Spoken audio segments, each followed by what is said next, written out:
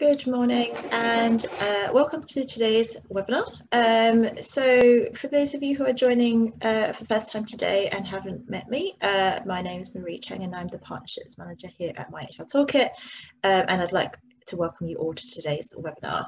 Um, so for those of you who have been joining uh, joining us for quite some time on our webinars, uh, we've been running a whole host of different topics on different HR and business topics, um, all with varying different uh, popularity. And in um, January this year we just started a series of webinars aimed primarily at uh, SMEs and HR professional around more business specific um, skills. So we've been looking at topics such as like running engaging webinars uh, why social media is really important how to optimize SEO and stuff like that. And again we'll talk about that a little bit in the webinar today that we can think back to some of our previous ones. Um, so for today, uh, you'll all have noticed that we live in a very content heavy kind of society. There's lots of social media around, there's lots of digital content everywhere. So today, Camille uh, Brouard, who's our marketing expert, is going to be looking at how you can create compelling content to attract uh, more clients. Uh, in terms of the format of today, she will spend um, approximately 20, 25 minutes covering the main part of the content and then at the end uh, we'll have some time to answer some of your questions.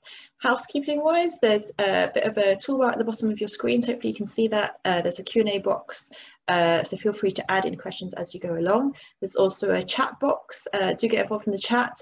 If we could ask you to ask the questions in the Q&A box, just more of a case that we don't miss them, that would be really good. Um, a bit more housekeeping, just to clarify that today's session is obviously offering general advice, tips and best practice.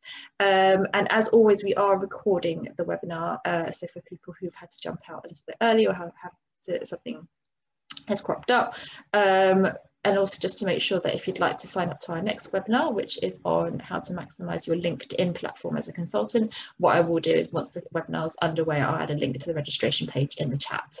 Um, okay, so right. Uh, without further ado then, I'm just going to uh, introduce you to Camille, uh, who will do a bit of an introduction about herself on how to create compelling content for your clients.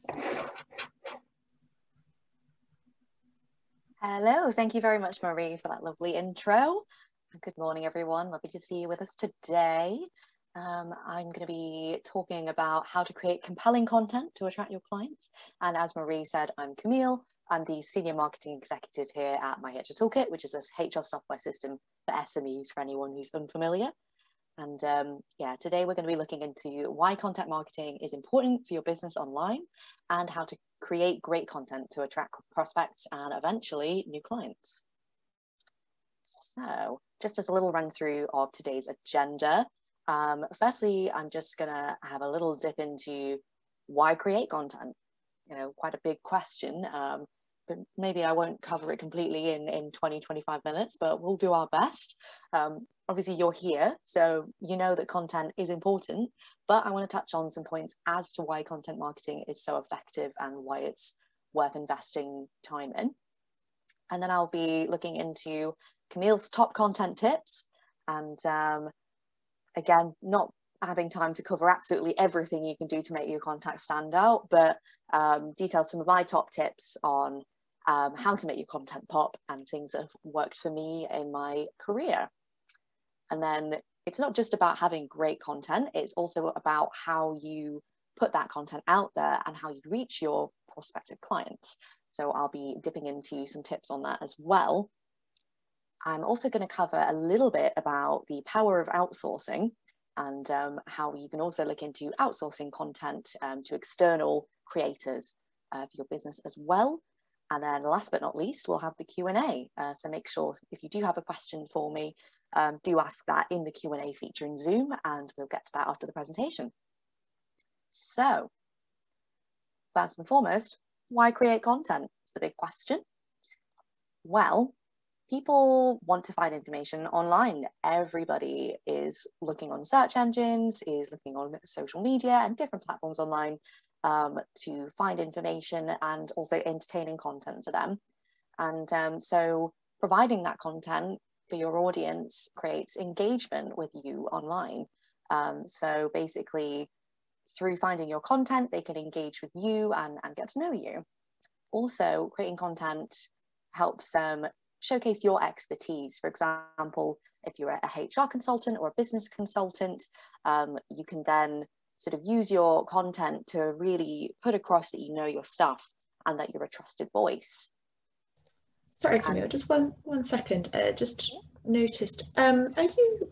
We can't seem to see your screen. Oh right, sorry. um, sorry, technical hitch. We will we will get that sorted out in a minute. I'll leave a. Sorry about that. I just steamed straight ahead. okay,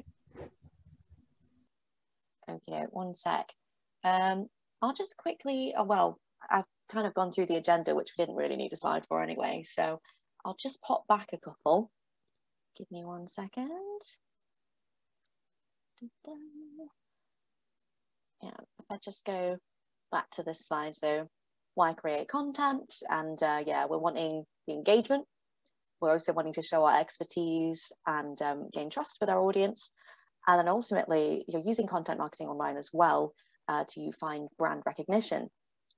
Um, so really, you want people to be aware of your brand, aware of what you're all about, what your business is doing. And so, for example, if you're looking for a HR consultant, um, you'll kind of be aware of a particular business or consultant before you're even looking for it. So that's really powerful. So basically, in terms of what you're wanting to do with content marketing, you're wanting to find new prospects, um, you're wanting to generate leads, and eventually getting new clients um, through your content. Okay.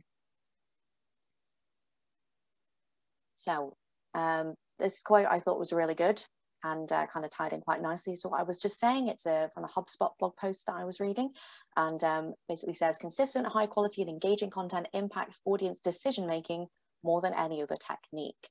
And um, this happens all the way down the line. Um, and I also did find a really interesting stat um, from a blog post from the expert marketer Neil Patel that according to Dragon Search Marketing, 61% of consumers are influenced by custom content, um, which is rather a large amount. So it just shows that it is worth putting time and effort into that content and things do pay off. And um, talking of sort of the customer journey or client journey, um, a really interesting way to think about it, you may have come across this before, is in terms of the marketing funnel. Um, and we love a visualization. Um, so I've just put an example of it up there. And um, basically, it's a way to visualize where someone is in their client journey. And you can also kind of think about what kind of content you can create to cater to people who were at different stages of that journey. And so basically, the further up the marketing funnel someone is, the less engaged they are. So at the top there, I've kind of noted that someone at the sort of top of the funnel will be a totally unaware prospect they don't really know, for example, that they want HR consultancy. Um, they don't really know about about your business and what you're doing. They're just sort of totally out in the ether. And then you go all the way down to someone becoming aware of you, being interested, considering your services, intending to buy, sort of making evaluations on on whether you're the the best person, and then eventually becoming a client. Um, so we have client all the way down at the bottom there. And um, yeah, you can basically create content to cater for um, different levels. So for example, further up the funnel, I think people are looking more for informational content, sometimes entertaining content as well. Um, but you know, HR can be quite a serious topic, so people are looking for information. Particularly, employers are looking for information on um, how to manage their employees and how to sort out any HR issues that they're having. And uh, later down the line, when someone's more looking for, for a consultant and they actually have that in mind, they're probably looking for more sales oriented content um, in, in terms of your services. Uh, they might be looking at reviews, testimonials, that kind of thing later down the line. Um, so you can be creating a wide variety of content to appeal to people at different stages. And really, there are so many different kinds of content that you can use, which I've just put a few of them up here. Um, and um, different types of content do require different strategies and skills. Um, so that's something to consider how you want to kind of spend your time and your budget in terms of what you're creating and, and what skills you have. Um, and um, but having a range of content options means you can reach different audiences because some people are going to prefer to consume their content via a blog post or maybe a downloadable guide, um, whereas others will prefer video content, maybe a podcast while they're on the go. Um, they might want to come on a webinar as you guys have come on today. Um, so people are looking for different things. So that can be quite good for reaching a variety of people through different mediums. And um, I have put social media in there. It is a little bit different um, as it's also a medium for sharing your content, um, but important to think about in relation to content marketing as well, um, because you can be, you know, you're putting sort of original content out on social media as well. That can be a, a way to reach people quite quickly. Um, and then you can also use it as a platform to share your longer pieces and, and draw people in as well. Okay. So I just wanted to do a little poll uh, based on sort of the different types of content that are out there and just to learn a little bit more about what you guys are doing and what your aims are. Um, so I'm interested in what types of content that you currently produce or want to produce. So I'm just going to run a poll. Okay, so I'm going to launch that poll now and hopefully that's popped up for you. Um, so I'll just give you a little bit of time to vote on that and you can choose any kind of content that you create. So it's a, should be hopefully a multiple choice yeah, getting some votes in, fabulous. I'll just give you a little bit of time to have a look at all the options. And also, if anyone's got, obviously I've not been able to cover every type of content on this. Um, so if anyone else has um, other things that they're doing that I've not covered, do let us know in the chat. Um, I'd be interested to to learn about what, what you guys are doing and, and what you're prioritizing in your content marketing. Okay, I'm just gonna give that a few more seconds. Um, just a few people haven't voted don't worry if you don't want to. It's also, it's also anonymous, so I'm not going to say, oh, so and so does all of this. Interesting. okay. Let's leave it a few more seconds. All right. Yeah, I think I'll end the polling now. Okay, so I'm going to share those results. So again, hopefully that'll come up on your screen. Um, yeah, as as I somewhat expected, because it is a really popular form. Uh, we do have blog posts and articles right up at the top. We do a lot of blogging um, at My HR Toolkit. That's kind of one of our main um, platforms that we use for content. Uh, we've also got quite a few people doing webinars as well. Hello, welcome to the club. um, webinars have been particularly popular um, in the last year for, for obvious reasons. Yeah, we've got quite a, a range of things here. Um, but yeah, blog posts and webinars seem to be kind of out in the front with, with videos as well. I've uh, got a couple of people doing podcasts. We've been dipping into podcasts as well. We've been sort of um, creating some of our webinars as podcasts as well and, and doing a little bit of original stuff there as well. Um, so a bit of a new area for us. And uh, testimonials, newsletters. It just shows there's so much out there. Um, obviously there are more popular forms, but that people are getting quite a lot out of different platforms for their for their content. So thank you for voting in that. Um, I'm just going to stop the results now. Okay. So, uh, just moving on from that poll. Now for the nitty gritty stuff, Camille's top content tips. And obviously I will try to uh, cover as, as, much stuff as I can. Um, and these are sort of tried and tested tips that I have followed or I try to follow as, as closely as possible when it comes to content creation across the board. Um, and I will try to make them general.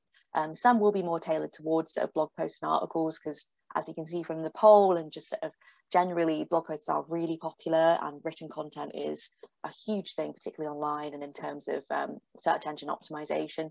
Um, but we do have a range of stuff out there, so I will be trying to sort of make reference to that as well. Okay. So top tip, probably one you've heard before. It's not exactly groundbreaking, but it's very important. Write for your audience. But what does that mean? Um, basically, you've got to be considering who your audience are. Well, more than that, what your what your target audience is in terms of who you want to be a customer, because you could be writing to appeal to lots of different people, but really you're wanting to kind of focus in on what's going to generate you really good quality leads and get you the right clients for you. So it's really appealing to, to that particular audience. Uh, that could be in a particular industry or sort of a particular level. You could be sort of wanting to um, be talking to HR managers perhaps or um, business managers, directors, CEOs. Uh, just depends on, on who you're looking to work with really, um, particularly in a B2B environment. And um, it's really important when you're considering your audience to speak their language.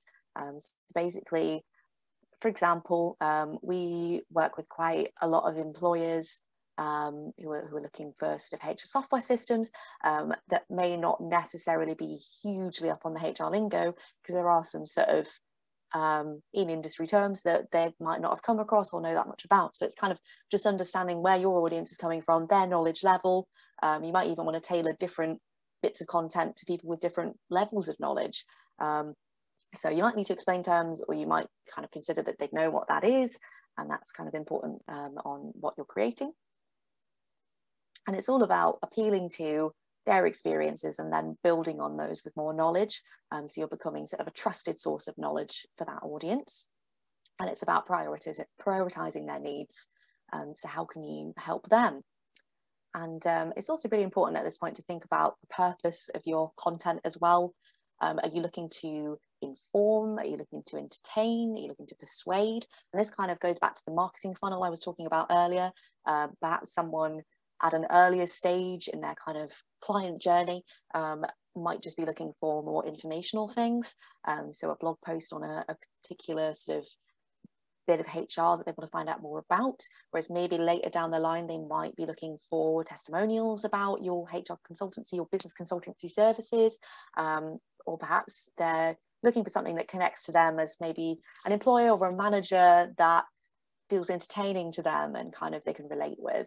So there's some different options there.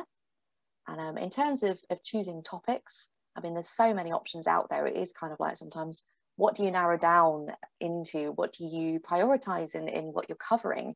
Um, because there are, yeah, so many options. Um, one really good tip is to narrow your focus, particularly if you're sort of starting out writing on a particular area or um, creating content in general. It can be quite tempting to try and just get everything into one page or post or webinar. Um, but obviously, um, you can't cram everything into into one place and it can be good to kind of focus on something quite specific particularly like in a blog post or an article maybe if you are doing a huge guide like you know the complete guide to HR for small businesses, um, you know, a big, big, big chunky guide, that could be a different thing. But if you're doing a blog post, um, you might want to sort of zone in on one particular thing that someone might be looking for online. Um, SEO wise, in particular, that means that um, that article is very likely to come up high on search engine results and get people clicking through. So that's one thing. And then it's also just really zoning in on a question someone has, what they want to know about, and giving them that answer. So it's really convenient for them. Okay.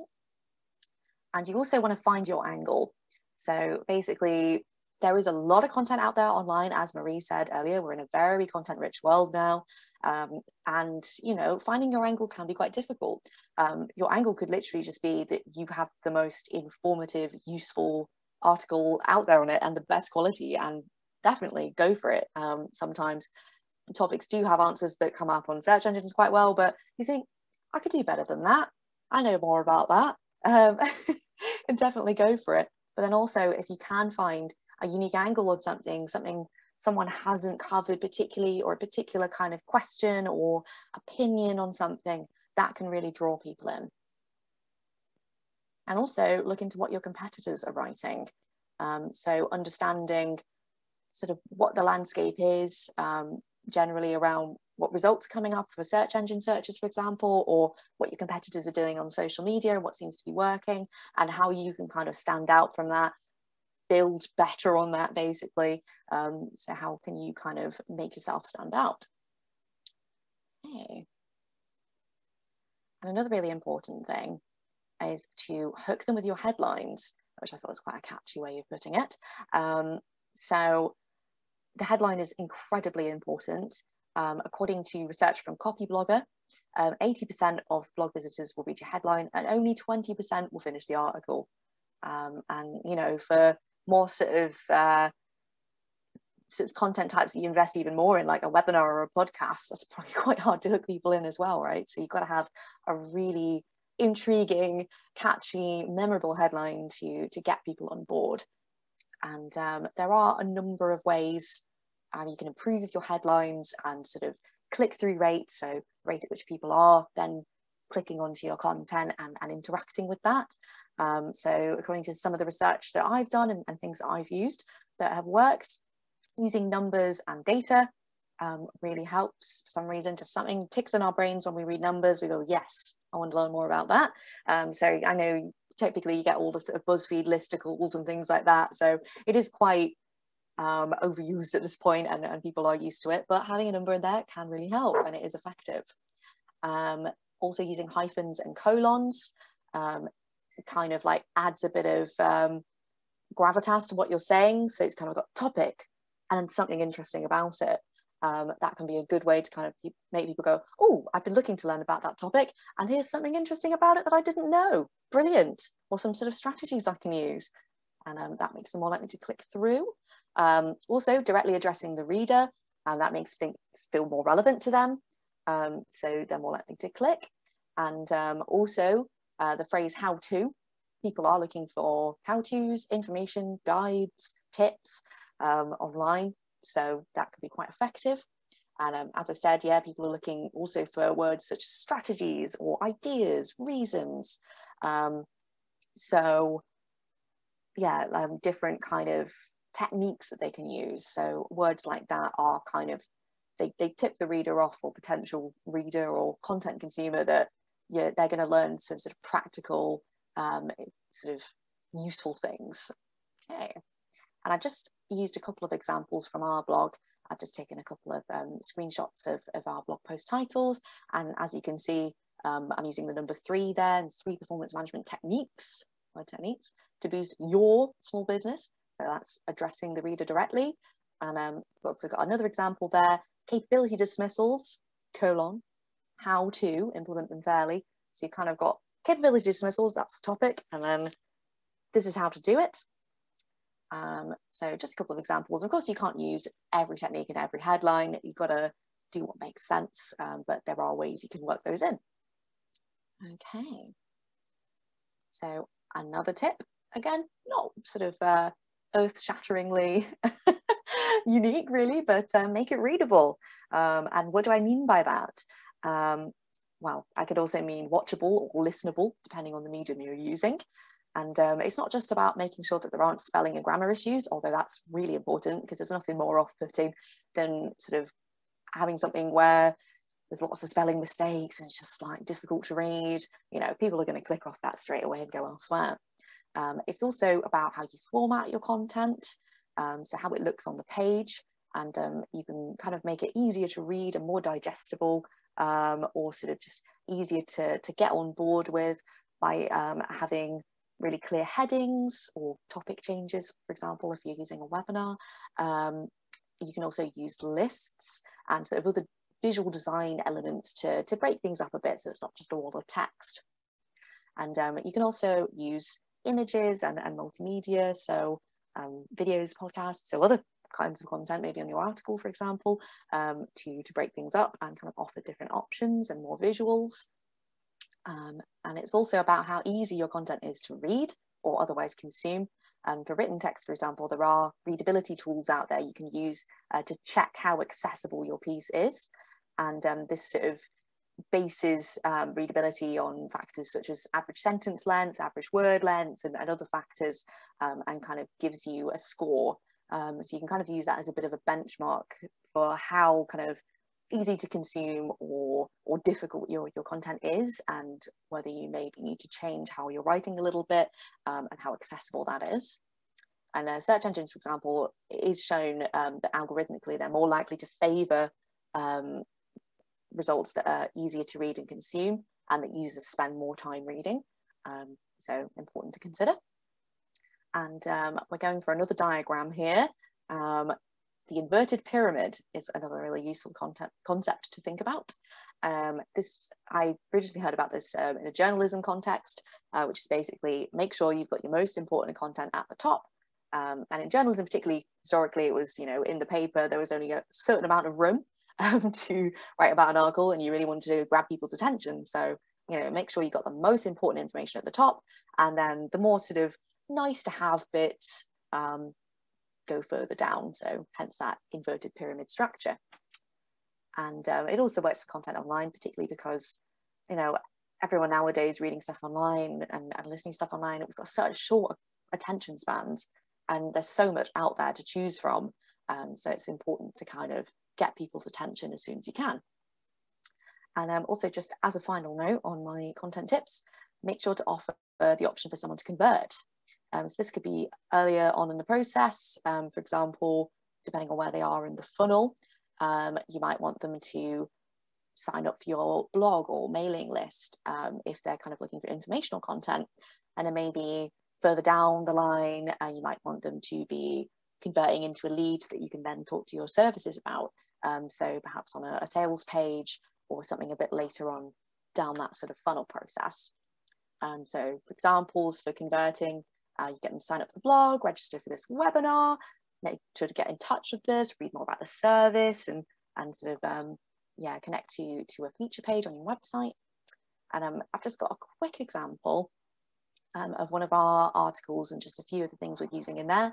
Um, so as you can see, we've got a little uh, colon in the title there as well. So bank holiday working rules, that's the topic. It's a guide for employers. So that's appealing to our target audience, which are sort of um, SME employers. And um, just got a few things covered in here um, using a subheading on bank holiday rules. And that's near the top of the article because that is the main thing people are wanting to learn from that. Um, so we've got that nice and high up with a big subheading. Um, I've got an image there to break up the text, some piggy banks because it's fun. and um, then further down in the article, I've kind of just taken bits of this. Um, we've got a little subheading, a smaller one on managing bank holidays with software. This is getting more into the conversion side of things. Um, and uh, this is quite a hard conversion. I think further up in the article, we've kind of got like a subscribe to our blog, whereas this is way down the end of the article when you can tell someone's been invested in that topic and they've, they've spent the time. Um, so we will put in a bit more of a sales call to action um, or a CTA, which we've got down at the bottom there um, on just reading our feature page on um, a holiday management system. And um, we also, I did do a little readability score test for this piece. Um, sorry if that's quite small, but hopefully you can see that. Um, and it says, according to the grading, it should be understood by 14 to 15 year olds, which is pretty accessible. Um, I think it could be more accessible from, from what I looked at. Um, and that's something you can kind of tweak by having shorter sentences, um, more use of active voice instead of passive voice. So he went to the shop, active, um, instead of passive. I'm trying to give an example now. the house was cleaned by the man or something i don't know. Um, so instead of the man cleans a house which is active so that's a good thing um, to do. And um, yeah um, there are more things you can do. And i just put a little link at the bottom that is of webfx.com which is like a free readability tool that they use.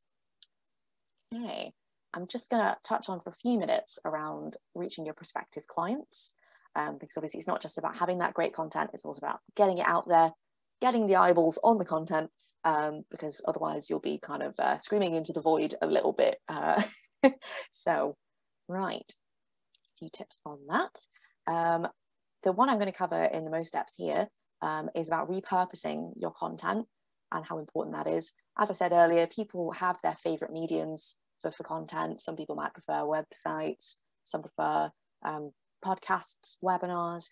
So really sort of um, being able to repurpose your content means that you're not kind of having to dedicate very specific time to each medium, which is very time consuming. You can kind of be using your content across mediums. So just thinking in terms of, for example, say this webinar, I think actually I could also write a blog post on how to create compelling content um, that I'm, I'm putting out there for, for consultants to use. And that could be another way uh, for people to to find out about us and maybe even then go on to the webinar as well. Um, so that could be a way of sort of repurposing. And for example, say you've got a guide that you think actually that could also really work as a podcast, um, depending on, on how you want to do things. Um, so you can kind of, yeah, just basically recycle, reuse a little bit. Recycling, it's always good um, to just make the use of your expertise, your knowledge, and the content you have. But just to note, um, because I'm quite up on the SEO, um, you got to make sure that it's unique content, particularly say you had a written guide online or a page that you thought, oh, I'm also going to make this a blog post.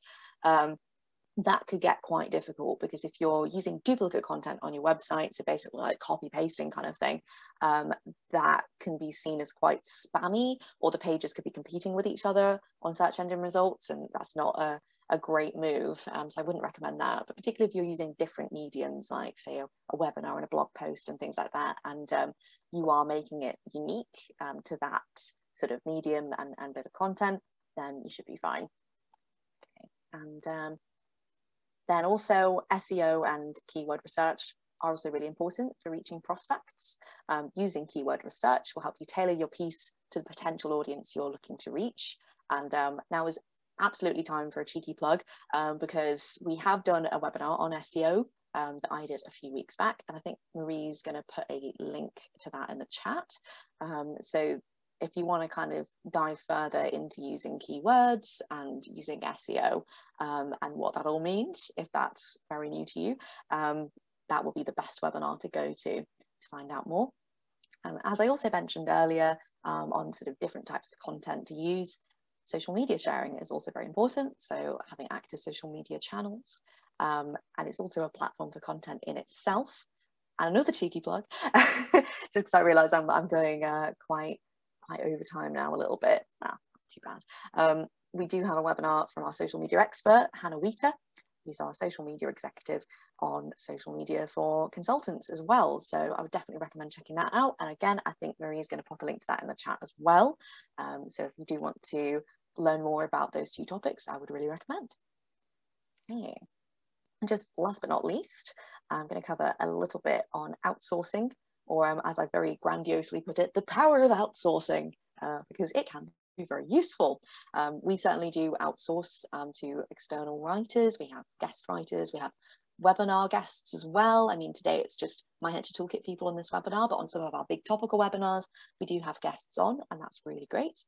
Um, but it does take a little bit of managing to get all this done um, and, and to sort of work with external contributors. So just thought I'd drop a few tips about that.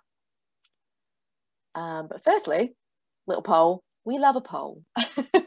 um, so I was just wondering, do you outsource any of your content activities? Is that something you're already doing? Again, just so I kind of know where you guys are coming from um, and I'm, I'm talking to you accurately to, to what your experience is. Um, so I'm just going to launch that poll. Um, so it's do you outsource any of your content activities? And you can choose yes, no, or considering it. So I'll just wait for some votes to come in.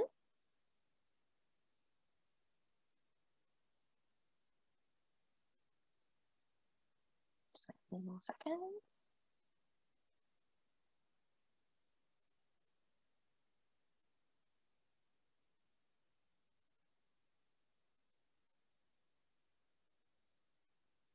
Okay, right, I will end that poll and share the results.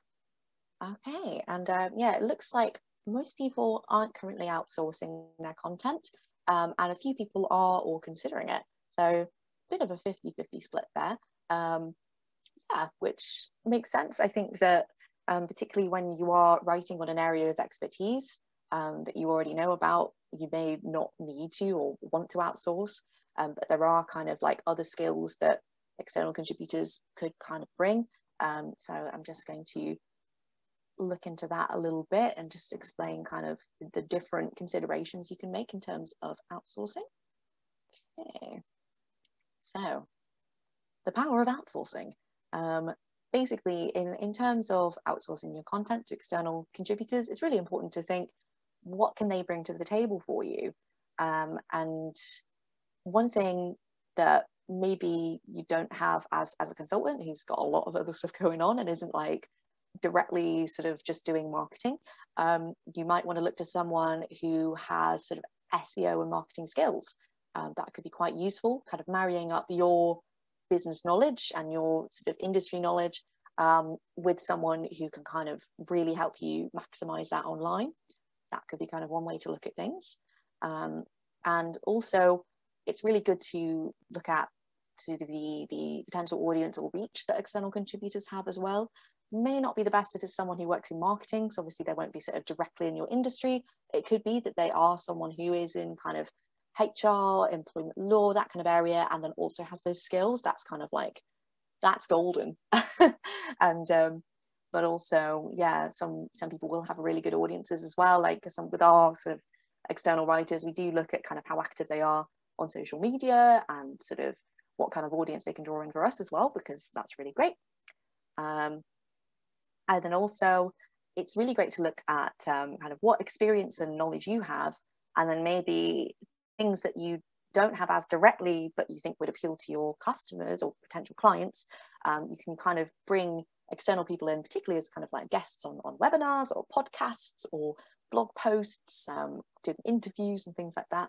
Um, that could be a, a, great way to kind of, it's, it's a bit of a, you scratch my back, I scratch your situation because you're kind of helping them advertise their services, also bringing in people who would then probably be interested in what you're doing as well, and just sort of bringing in informative, interesting, trustworthy content um, onto your platform for people to uh, read or otherwise consume. Okay, and just a few quick tips on how to outsource. Firstly, really important to decide your budget because um, it could get away with you if you just think, I'm gonna, you know, get all these different writers on um, or whatever, and you know, it can get quite expensive. So it's really good to kind of set that budget and and decide sort of how much you're you're willing to spend, and um, perhaps each month or, or, annually, and how that kind of fits with your goals. Um, and there's also quite a few different places to look as well um, for your external contributors. There are sort of freelancer websites out there, uh, quite a few different ones where you can find people who perhaps have kind of those marketing skills and then also have knowledge in your area as well, which would be great. Um, LinkedIn is another great kind of um, source for particularly finding experts within particular fields that you might want to work with. Um, and then also job boards as well. Um, you can even advertise, and that could be another way of going around things, particularly if you are looking for more sort of um, permanent connections with external contributors. And um, also another really important thing that I found very useful in working with our external contributors is to provide a content brief. Um, so basically it depends on the medium you're using, um, but for webinars with our guests, we kind of send out information on what our webinars are all about, what the process is, what we're kind of expecting from them, what we're providing, and just making it all really clear, um, you know, inviting them to ask any questions. Um, and then also on blog posts, for example, we do get external sort of HR and employment law writers um, to, to write for us and, and contribute. And um, I like to provide a, a, brief from sort of an SEO and marketing perspective and kind of like show my thought process and what we're looking for on a particular topic and um, kind of how we're wanting to put that across in any important points. And then obviously not you know, it's not like a draconian law, like you have to write this kind of thing, but more just kind of here are some guidelines on what we're looking for. And then they kind of add in their expertise and, and knowledge and, and writing flair and the other skills that they have. And um, I found that really brings out the best in that in that piece of content, definitely. Okay, so if we just move on to the Q&A, I've noticed there's a couple of questions in there. Um, so I think Marie's gonna pop back on now. Yeah, great. Thank you very much, Camille. Um, that was really helpful. So just a reminder, we're just going to move into our Q&A at the uh, right now. Um, there are a couple of questions in the Q&A, so I'm just going to go through them. If you do have any questions, please do feel free to ask them, uh, ask Camille any of your burning uh, questions in the Q&A box. Okay, so first question. Um, so this person has asked, where's the best place to find out where potential customers are searching for? Or sorry, what potential customers are searching for? Yeah, so this is this is basically um, keyword research um, is is going to be your best friend for finding out what customers are looking for online. And there are kind of a few different ways you can do this. And I'd really recommend checking out my SEO webinar. But as a, a sort of a, a brief overview, um, there are kind of free and paid options basically because um, you know that's the world we're in. We pay for for the good services, but there are also free ways of doing it. Um, for example, if you were to go on Google and search for a particular topic, I'm just trying to uh, think of an example. Maybe uh, just one of the blog posts earlier, capability to dismissal or something. Um, if perhaps an employer was looking for that and more information, and um, so you type that in, and then often with topics, uh, Google comes up with related searches and questions. And even as you're typing into the toolbar, it will be coming up with sort of suggestions. And so that can be a really good way and a free way to kind of figure out what people are looking for, what related stuff is out there. Also, if you scroll the to the bottom of your Google search result page as well, there will be related searches. Um, so that's all quite useful. Um, Google does have its own keyword research tool that you can use, um, but it's more geared towards um, PPC or paid search um, and isn't always the most accurate. And um, there are uh, paid tools out there as well you can use. Uh, we use SEMrush, uh, which is quite a good one, but if that's something you're willing to put a bit more budget to, that could be a really good option. And yeah, there's um, also another really good one. Um, I'm just going to double check the um, name of it because I found this quite useful. I've not used it for a little while. Yeah, there's a website and it's called answerthepublic.com. And basically, you can type in a question or sort of keyword phrase, and it will just like show you uh, lots of questions and things that people are looking for, which is particularly great for coming up with blog post blog post ideas or topics, um, because you can basically just type in for example, we might type in HR software um, as like a really obvious one for, for us, and it will come up with sort of different loads of different questions people are asking around it. Um, and it has a bit of an indicator of how many people are searching for that per month as well, um, which most keyword tools have. Um, and that could be a useful one as well. So that's answerthepublic.com. Recommend. But um, yeah, my SEO webinar goes into a lot more depth on, on keyword research and how to do that. Cool. Great, thank you. Uh, so I'm just asked, yes, um, I can answer this one. The webinar is being recorded, so uh, we will send that out uh, after the um, after the webinar, so that's fine. Um, I think someone's asked a bit more specific. I think you must have touched upon the fact that um, they've asked, can they get the link for the web FX again? yes, that's the, the readability tool. Uh, there are quite a few different ones online that you may want to check out, but this is just like a, a little benchmarking one I use um, that's quite useful. And um, I just had it up actually, but it's um, webfx.com slash tools slash readable. So I'll pop that in the chat um, just because that'd be great. Much easier to find. I don't know where my chat box has gone actually. There we go. Cool. so um, whilst you're doing that, that yeah any any other specific questions around um, you know your own content or trying to make it stand out or like you know what she's kind of come across um, we've got a little bit of time so feel free to feel free yeah, to ask questions very welcome um, yeah i guess camille you know maybe just finishing off then like obviously you've talked a lot about content and it's probably a case of just trying out different things to see whether different things work um, as well as obviously like you know having a bit of thought but like I, have noticed that when I've been doing bits and pieces it's sometimes you try some stuff sometimes you try it at different times different days um, uh, different sort of angles on it. I noticed there are My HR Toolkit ones which have us and the team do do pretty well compared to some of the others because it's got a people element there so yeah especially on social definitely and um, it, it depends on your platform as well and, and what people are looking for. For example, you know, if someone's looking on a blog, they're probably looking for more informational things, where if, if they're on social, they're kind of looking for more maybe lifestyle and something mm. with a mm. bit more personality and, and something more entertaining. Um, and then, yeah, it, it, really depends on the on the platform and the audience you're trying to sort of appeal to.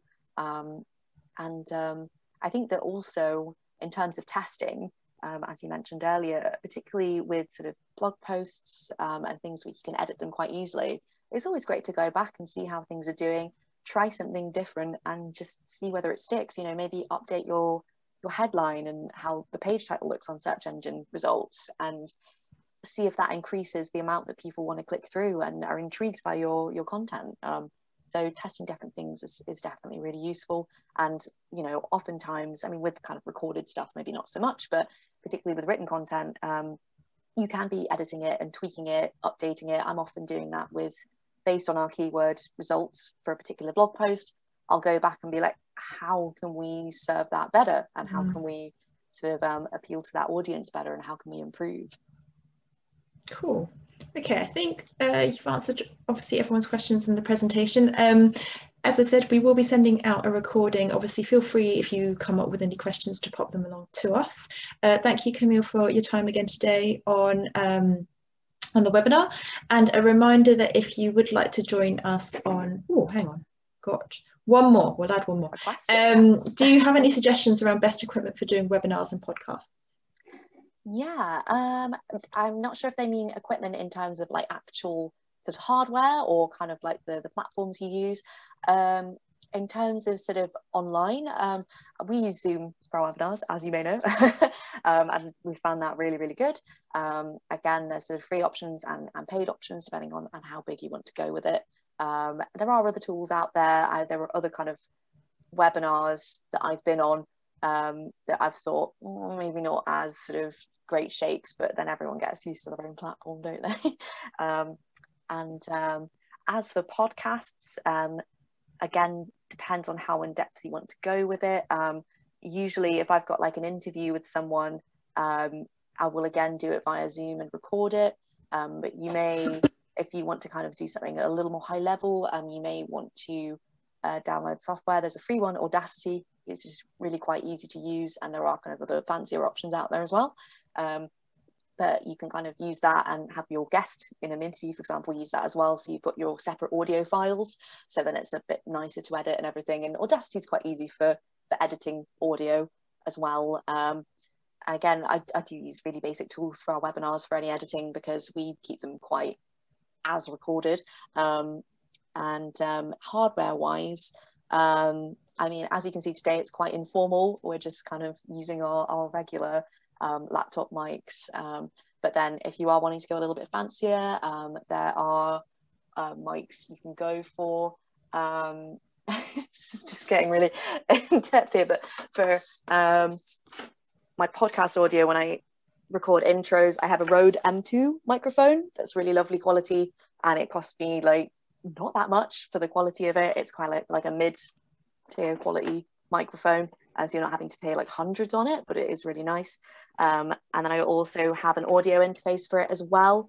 Um, if you get a USB mic, um, obviously you can just plug that in, um, whereas the Rode M2 is not a USB mic, uh, so you do have to have an audio. And I use the Behringer, um, one of theirs, as an audio interface. But again, if you're wanting to go a bit simpler, and there are some really nice USB mics out there as well, and again, price range can vary. Hopefully that's been helpful. cool. Great. Thank you. Um, okay, great. Yeah, so as, as I've mentioned, um, please do feel free to, to sign up to the next uh, webinar, which we have put in the uh, chat box. And also when we follow up on the webinar today, we will also include the link. But otherwise, thank you very much for joining us. Enjoy the rest of the week. It's looking pretty sunny. Uh, and we will speak to we will speak to you soon. Thanks very much.